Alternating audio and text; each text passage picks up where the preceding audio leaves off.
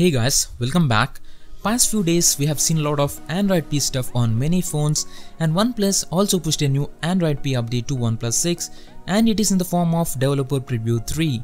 Installation process is same as manually flashing any ROM via local upgrade, transfer the ROM package to your phone's internal storage, go to settings, system updates, gear icon at the top right corner, local upgrade and pick the ROM package file and install it. Good thing is compared to the previously released Android P beta builds, this build doesn't require wiping your storage to get the ROM boot. Just install the update via local upgrade and reboot your phone. I used DP3 for a while without wiping storage and I also tested the ROM with storage wiped but I did not notice any increase in stability.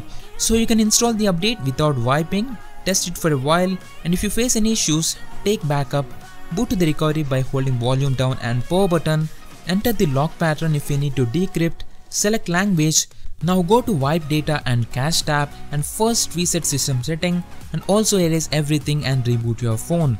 So first let's go to settings, system, about phone. As you can see device name is OnePlus 6, Oxygen OS version is 5.1.0, OS version is Android P with July security patch and the build date is July 12. About the changes compared to the previously released Android P builds, now we got an updated launcher. Although there are no new features when you slide to the left on the home screen, you can notice that the shelf has got its UI themed with a white background now and the updated launcher version is 3.0.0.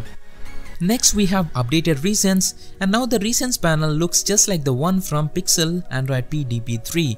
The tabs are bigger now and you can slide to the left or right to access other open tabs. The clear all button is just above the home button and you can swipe up to dismiss a tab and when you hit the 3 dot menu on any tab, there will be multiple options to lock that tab, open the tab in full screen mode, enable split screen and also go to that specific app info. Next we have a new volume slider, it's the same Google volume slider for Android P and additionally within volume slider you can select media output which previously used to be under quick toggles. The quick toggles are same as stock but with less empty spaces between rows. When you slide down the quick toggles, the notifications get dismissed and you can only access the notifications when you minimize the quick toggles and rest everything seem to be same as before. This is a setting panel, Wi-Fi and internet tab. I did not face any issues be it with Wi-Fi or cellular network. VoLTE works, video calling also works and sometimes the phone app might crash and in case if it does for you go to that app info and clear the storage of that app. Bluetooth is fine now connected to my Bullets wireless and everything is fine calls, music videos, whatever everything is working fine. No issues with the alert slider. This is the display tab, adaptive brightness, night mode, reading mode, ambient display work fine and they also fixed the notch display. Screen calibration works and just like the previous update, you can customize the accent colors.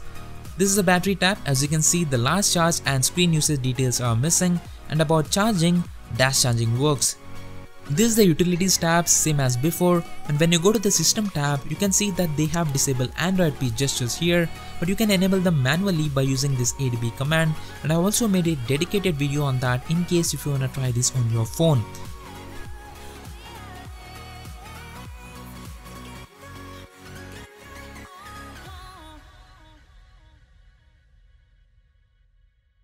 And about issues with this ROM, although the ROM is fluid, sometimes you notice lag here and there especially with the launcher and when opening apps or tabs from the recent panel.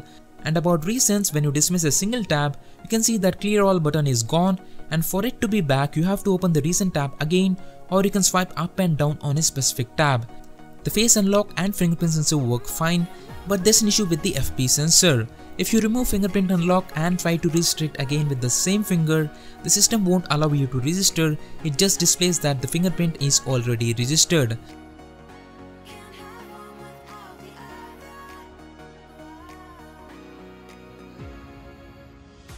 That's it about Android P DP3 on OnePlus 6. I've been using this ROM for about 2 days. It's stable compared to previous builds and if you are fine with the above mentioned issues, you can use this ROM as a daily driver.